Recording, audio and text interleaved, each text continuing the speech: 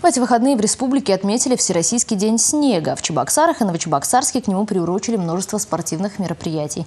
Массовые соревнования прошли в парке 500-летия столицы.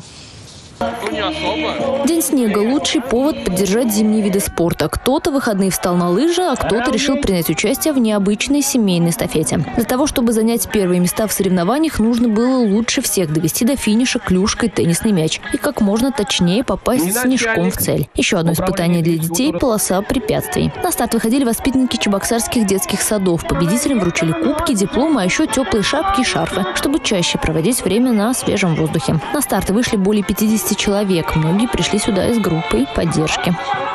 Мы пришли поддержать нашу семью Корж, которая принимает активное здесь участие. И мы пришли для того, чтобы э, немножко взбодриться, получить заряд бодрости энергии. В этом году Чебоксары впервые поддержали День снега. Как продолжить эту традицию? Организаторы ждут от горожан интересных идей. В этом году у нас как бы пробный. Мы хотим посмотреть, что внедрить в дальнейшем. Поэтому и в следующем году предложим и э, муниципалитетам, районам во всех местах, чтобы можно было проводить.